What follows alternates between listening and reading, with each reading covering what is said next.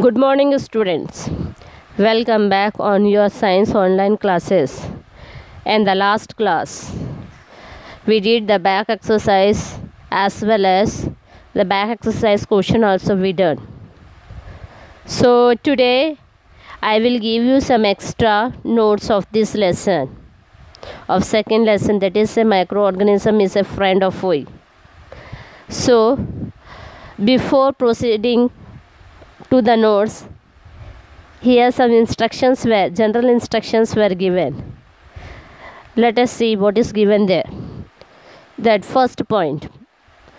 All the videos of the class 6 to 12 from 7th april to 30th april will be available on a school website till 10th june. You can watch these videos at any time and can get your attendance for the particular day Second point completion of assignments are compulsory for all students of the all classes.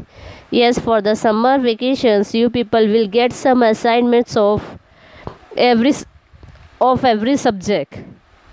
So that completion of assignment is compulsory.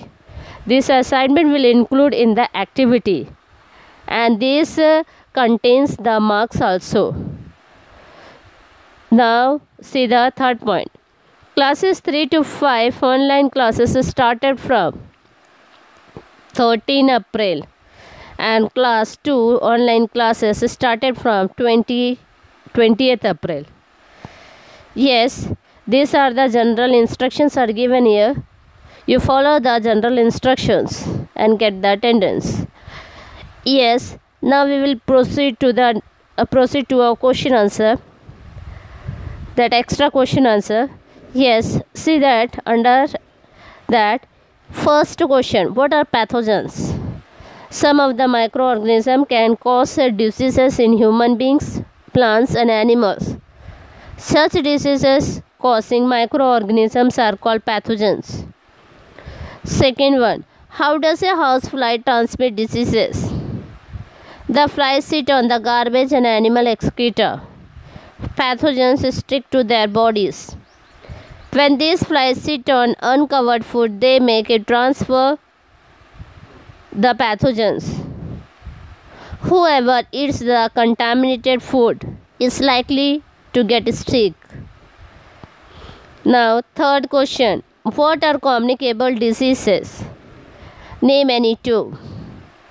Note down the answer microbial disease that can spread from an infected person to a healthy person through air, water, food, or physical contact are called communicable diseases. Example of such diseases include cholera, common cold, chickenpox, and tuberculosis. Yes, next question. Next question is about what is fermentation. Fermentation is a slow biochemical process in which sugar molecules in waters are broken due to some yeast in the absence of air. Thus, when sugar solution in water is kept with some yeast in tumbler for a few days, alcohol is formed. Now the next question. Explain the various method can be used for food preservation. Note down the answer. Important method used for preserving food are First one Preservation of common salt. Common salt has been used to preserve meat and the fish for ages. Meat and fish are covered with the dry salt to check the growth of bacteria. Salting is also used to preserve amla, raw, mangoes, tamarind, etc. Then the second one, chemical method. Salts and edible oils are the common chemicals generally used to check the growth of microorganisms. Therefore, they are called preservatives. We added salt or acid preservatives to pickles to prevent the attack of microbes. Sodium benzoate and sodium metabisulfites are a common preservative. These are also used in the jam and squashes to check their spoilage.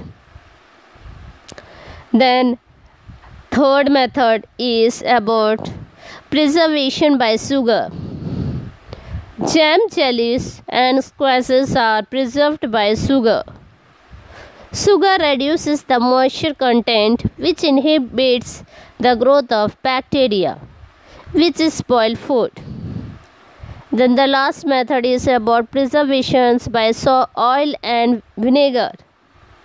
Use of oil and vinegar prevents spoilage of pickles because bacteria cannot live in such environment. Vegetables, fruit and meats are often preserved by this method. So in this way we had completed the notes of the uh, second lesson. We did the back exercise, back question answer, back question answer, um, NCERT question answer and uh, certain extra notes also I gave. So children, whatever the notes I had given you, go through it and uh, keeps on learning. Yes, thank you.